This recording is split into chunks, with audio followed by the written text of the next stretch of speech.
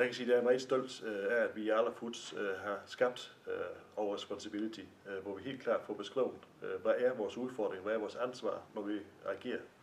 i forhold til vores egne ejere, i forhold til vores samarbejdspartnere, men i særdeleshed også i forhold til vores landmandskollegaer ude i den tredje verden, hvor vi bevæger os med vores mejeriprodukter. Som landmand, der falder det også ganske naturligt, og, og over Responsibility er meget tæt til hjertet på enhver bonde i Arla Foods, fordi vi kan lide, at vi begår os ordentligt det er utrolig vigtigt, at hver morgen vi står op, vi kan se os selv i øjnene, øh, både derhjemme, men også i forhold til, hvordan vores virksomhed den begår sig ude i verden. Øh, jeg håber på, at det vil blive en rigtig god forretning øh, for Arla Foods, men også at det vil blive en rigtig god mulighed for de lokale landmænd, at de kan få udviklet øh, deres måde at drive mælkeproduktion på, øh, og at de kan være en del af fødevarekæden i, lokalt i Vestafrika også fremadrettet. Det er jo sådan, at frisk mælk vil altid være det vigtigste for i humanernæringen. Og den friske mælk kan ikke leveres helt fra Nordeuropa og til, til Vestafrika.